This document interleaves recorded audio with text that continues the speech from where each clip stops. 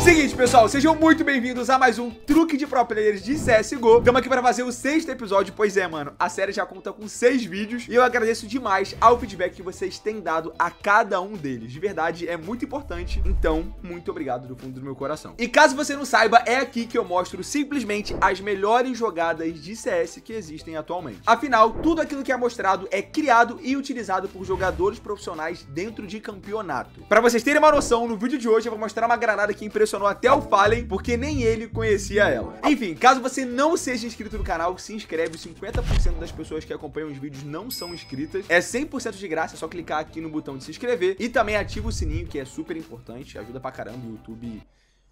O YouTube é o YouTube, tá ligado? Mas é isso, vamos lá começar porque eu tô ansioso pra mostrar pra vocês o que eu separei nesse vídeo.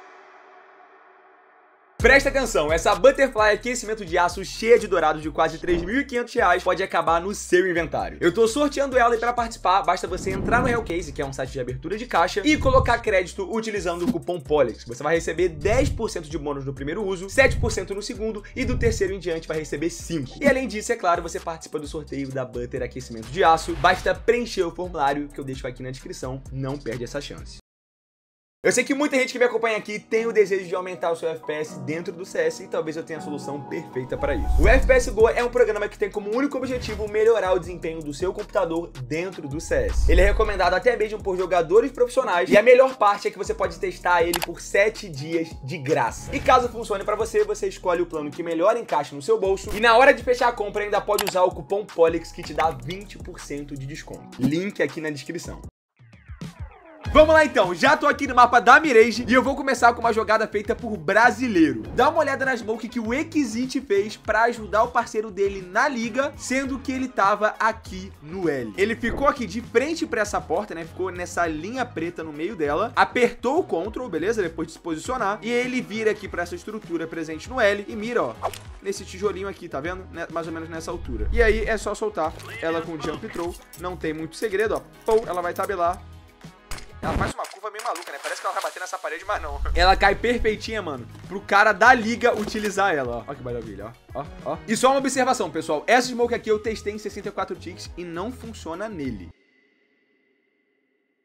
E como truques não se tratam apenas de granadas, eu tô aqui na Dust 2 para mostrar um jeito genial de marcar um possível avanço CT aqui no meio. Dá uma olhada em como o Hobbit, jogador profissional da Gambit, conseguiu uma kill em cima do Simple, que tava avançando varanda, de uma maneira muito fácil. Basicamente o que ele fez foi subir em cima desse carrinho aqui, e ficar mirando na varanda. Tá, mas o que, que, tem de especial nisso? Primeira coisa, esse daqui é um pixel inesperado, tá ligado? Dificilmente algum CT vai abrir mirando aqui. A segunda coisa é que essa tenda aqui acaba te protegendo de flashes. Se vocês repararem bem no vídeo, o Bumbla faz uma flash pro Simple avançar. Só que essa flash não funciona justamente porque essa tenda tá protegendo o Hobbit. Ainda aqui na Dust 2, eu vou mostrar pra vocês uma smoke feita pelo Noezão. Eu não sei se ele criou ela, sei que ele fez na live dele. E, mano, Cara, sensacional, de verdade, só isso, sensacional. A Smoke Porta aqui do escuro eu já conhecia, né? É só você chegar aqui nessa caixa e mirar aqui. Essa Smoke vai dar uma viajada e vai cair aqui na porta, ó, quer ver?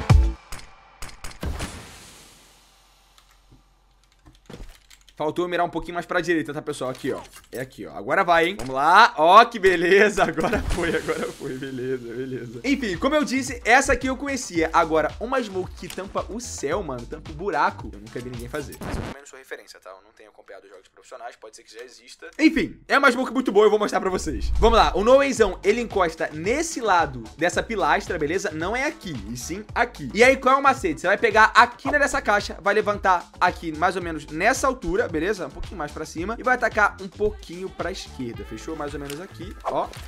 Beleza, foi. Ela vai dar uma tabelada maluca, poupatou e Toma. Smokezinha céu, não dá pra você entrar. Não vai ter como, não tem brecha, não tem fade. Simplesmente uma smoke céu perfeita que é feita lá do escuro. Só toma cuidado, pessoal, porque o pixel dela é extremamente exato, beleza? E ó, um aviso importante, essa smoke só funciona em 128 ticks.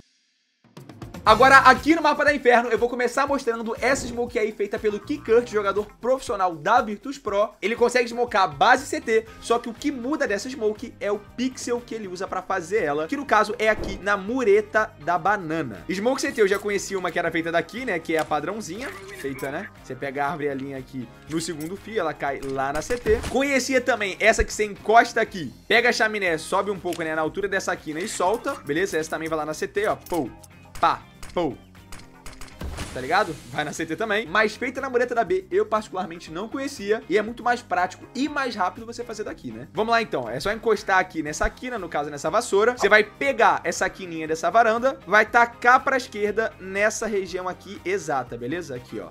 Tacou pra esquerda, aqui. Eu alinho depois dessa bolinha mais forte aqui, dessa manchinha na parede, essas ondinhas aqui, ó. Tem uma bolinha mais forte. Eu taco ela na altura da quina e jogo que ela cai lá na CT. Dá uma olhadinha, ó. Pou, pá. Olha que beleza. Pelo amor de Deus, que beleza. E além de ser super fácil e rápido de fazer essa smoke, ela funciona em 64 ticks e também em 128, fechou? Continuando no mapa da Inferno, mas vindo aqui pro tapete, a gente tem esse combo de granadas feito pelo Tizian, um jogador profissional da Big, que por sinal é um combo extremamente útil, afinal, todo mundo sabe que é muito difícil você conseguir entrar aqui no bombear, são muitas posições, areia, regador, bombe, e com esse combo o Tizian consegue já eliminar uma possibilidade, que no caso é o regador. Vamos lá então, ele fica aqui de frente pra essa porta branca, branca, mira aqui, beleza? Ele fica assim de frente pra porta. E aí, ó, o que, que ele vai fazer? Vai pegar esse arco, mira aqui no meio e vai, ó, contar uma, duas, três listras em cima. Pra ficar mais fácil, ele mira aqui, ó, na divisória da terceira listra. Uma, duas, três, pirou. A smoke vai cair perfeitinho, ó. Dá uma olhada como é que ela cai, diferenciada, ó. Pô, caiu. E aí ela deixa um espacinho pra você pegar o pixel da Molotov. Você vai encostar aqui nessa divisória da parede do tapete e vai mirar exatamente onde eu tô mirando. Vai cair a Molotov perfeitinha no regador e ninguém aqui vai conseguir te ver, beleza? E ó, essa Smoke e essa Molotov funcionam em 64 e também em 128, ou seja, você faz ela no MM, faz ela na GC, faz onde você quiser. Bom, chegou o momento de eu mostrar pra vocês o que impressionou o Fallen. Simplesmente o professor do CS, ou seja, mano, não é qualquer coisa, tá ligado? Eu vou mostrar o vídeo com a reação dele e depois eu volto pra mostrar como se faz a granada. No forçado. Difícil são os forçados, hein? Agora pode ser que debute, tô voltando. Opa, smoke legal aí, ó. Viu como dá pra aprender sempre? Meu camarada, meu Conrad. Calma aí, meu Conrad. Calma aí que essa aí a gente vai querer. Encostou. Travou no lixo. Pega seu celular aí agora e bate uma selfie, hein? Que pelo menos eu vou fazer isso. Valeu pela smoke, mano. Vocês viram aí que o Jackzinho, jogador profissional da Fnatic, consegue esmocar sapão, só que aqui, dessa lixeira da A. Existem várias smokes que caem aqui no sapão, inclusive até uma feita da base, mas nesse pixel, assim como o Fallen, eu nunca tinha visto. E se o Fallenzão aprendeu, irmão, se o Fallenzão anotou, a gente tem que fazer também, então vambora. O que, que você tem que fazer? Você tem que travar o seu corpo aqui na lixeira, não é difícil, tá? É muito fácil. E aí, ó, você vira pra cá, vai pegar essa flor aqui, pegou a flor, subiu nessa altura, tá vendo, ó? Dessa linha aqui de ferro. Virou mais ou menos aqui, aqui onde eu tô, beleza? Aquizinho, e aí, aquizinho foi, foi, foi diferente. E aí você solta ela com jump throw. Dá uma olhada, ó. Dá uma olhada nisso aqui, velho. Dá uma olhada nesse absurdo, mano. A smoke cai perfeita pra ajudar os seus parceiros aqui do sapão, tá? Ela não deixa nenhum fade, ó. Tá vendo? Não tem como. Os TRs que estão rodando essa região não conseguem informação nenhuma. E pra finalizar, tamo de volta na Mirage. E o que vocês vão ver é simplesmente outro nível. Eu sei que eu sempre falo isso. Eu sei, eu sei. Mas agora eu tô falando mais sério do que nunca. Essa flash eu garanto pra você que você nunca viu. Quem fez ela foi o Kerrigan, jogador profissional da FaZe Clan. E quem conhece sabe, mano, o Kerrigan é muito bom de fazer granada diferenciada. Então dá uma olhada nisso e aprende. De 2019, valeu por todas as risadas. Nossa, olha a é um flash. exemplo.